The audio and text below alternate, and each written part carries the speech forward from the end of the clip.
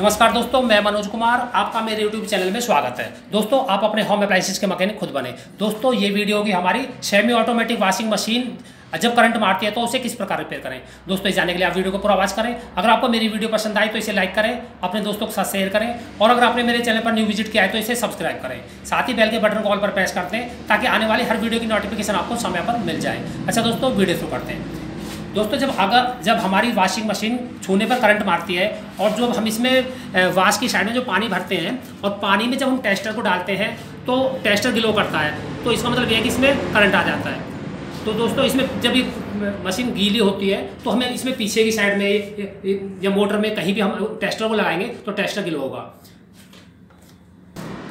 तो दोस्तों, अगर आपकी मशीन करंट मार रही है तो सबसे पहले आप क्या चेक करेंगे? सबसे पहले आप थ्री पिन की मेल लीड होती है दोस्तों।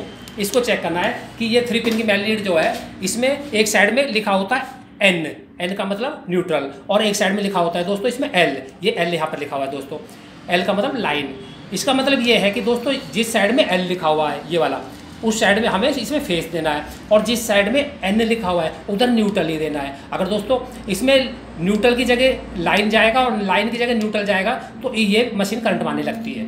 इसमें होता क्या है दोस्तों, ये जो हमारा फेस है, ये फेस सीधा हमारा टाइमर में जाता है और टाइमर से ये हमारा मोटर के रनिंग पॉइंट पर जाता है।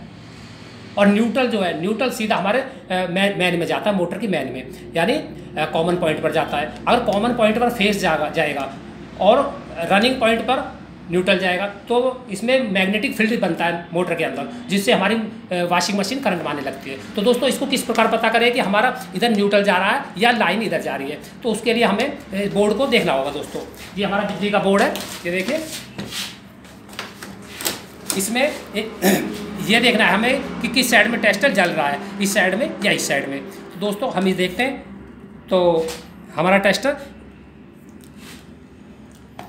इस साइड में गिलो नहीं हो रहा दोस्तों, जल नहीं रहा। आपको दिख नहीं रहा होगा दोस्तों, ये बहुत मंदा जल रहा है। दोस्तों, इस साइड में हमारा टेस्टर जल रहा है। इसका मतलब ये है कि इसमें लाइन फेस इधर है और जबकि हमारे, हमारी मेल लीड में लाइन इधर है। जब हम इसे ऐसे पलटेंगे तो लाइन इधर आ जाएगी और फेस इधर आ जाएगा। तो दोस्तों, इसको रिपेयर किस प्रकार करें? उसके लिए हमें इस बोर्ड को खोलना होगा दोस्तों। खोल कर इस बोर्ड को, इसमें जो वायर लगी हुई है इधर की वायर को हमें इधर करना है और इधर की वायर को दोस्तों इधर करना है। इससे हमारे इस साइड में न्यूट्रल हो जाएगा और इस साइड में फेस हो जाएगा। हमारे ये लाइन भी इधर है लाइन का पॉइंट इधर है और न्यूट्रल का पॉइंट भी इधर ही है। इससे जब हम इसमें सॉकेट को लगाएँगे स्विच में तो हमें इधर लाइन मिलेगी और इधर न्यूट्रल मिलेगा। इससे हमारा मैग्नेट फ़ील्ड बहुत कम बनेगा बनेगा नहीं और हमारी वॉशिंग मशीन करंट नहीं मारेगी। और दूसरा कारण दोस्तों ये होता है इसमें करंट मारने का कि जैसे जैसे जो हमारा फ्रंट पैनल है वॉशिंग मशीन का, इसमें जो कपड़े जो वॉश करते हैं तो इसमें पाइप यहाँ पर लगाते हैं, ये लिखा हुआ है इसमें वॉश वाटर इनलेट इसमें जब पानी का जब पाइप यहाँ पे लगाएँगे तो पानी इसमें अंदर भी जाता है। तो दोस्तों, कुछ पानी इसमें फ्रंट पैनल में अंदर चला जाता है। और जब फ्रंट पैनल अंदर से गीला हो जाएगा तो उसमें कुछ घरों में जो चूहे वगैरह होते हैं तो तारों को काट देते हैं। और कटा हुआ तार जब पानी के संपर्क में आएगा तो वॉशिंग मशीन में करंट आ जाता है। तो दोस्तों इसके लिए हम फ्रंट पैनल को खोलेंगे और फ्रंट पैनल में खोलकर जो वायर है उसको चेक करेंगे कि कहीं से तार कटा हुआ तो नहीं है। और जहाँ पर तार कटा हुआ है वहाँ पर हम उसमें टेप लगा देंगे अच्छे से। और इसमें तीसरा कारण करंट आने का ये होता है दोस्तों। दोस्तों जब हम कपड़े वाश करते हैं तो वा, वाश टब की साइड से पानी नीचे ये गेयर बॉक्स अगर लीकेज हो रहा है अगर इसका मशीन का गेयर बॉक्स लीकेज हो, होता है तो पानी नीचे आ जाता है और नीचे आकर पानी मोटर के ऊपर चला जाता है। वाश मोटर पे जा, जाता है और उधर स्पिन की मोटर पे भी जाता है। तो दोस्तों अगर पानी नीचे लीकेज होकर नीचे आ रहा है तो हमारी मोटर में पानी जाएगा और पानी जाने की वजह से मैग्नेटिक फ़ील्ड ज़्यादा बनेगा और मोटर करंट मारने लगेगी। दोस्तों ये जो है स्पिन की मोटर है इसमें ऊपर की साइड में एक बफर लगा होता है।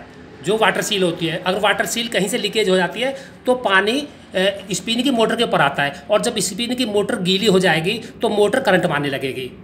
तो दोस्तों ये हमें देखना होता है कि इसमें बफर कहीं लीक तो नहीं हो रहा या हमारा गेयर बॉक्स कहीं से लीक तो नहीं है। और फिर इसमें ये भी देखना होता है दोस्तों कि जैसे हमारी वायर है वायर कहीं से कटी हुई तो नहीं है, जैसे घरों में चूहे होते हैं, वो वायरों को काट देते हैं तारों को तो सारे वायरों को अच्छे से चेक कर लें, ऊपर से नीचे तक, कहीं से कोई वायर कटी हुई तो नहीं है। और जहाँ पर वायर कटी हुई है, वहाँ पर उसमें हमें टेप लगा दें। अच्छा दोस्तों, अगर आपको मेरी वीडियो पसंद आए तो इसे लाइक करें, अपने दोस्तों के साथ शेयर करें, और अगर आपने मेरे चैनल पर न्यू विज़िट किया है तो इसे सब्सक्राइब करें। साथ ही बेल के बटन को ऑल पर प्रेस कर दें, ताकि आने वाली हर वीडियो की नोटिफिकेशन आपको समय पर मिल जाए। अच्छा दोस्तों, मिलते हैं अगली वीडियो में, तब तक के लिए नमस्कार।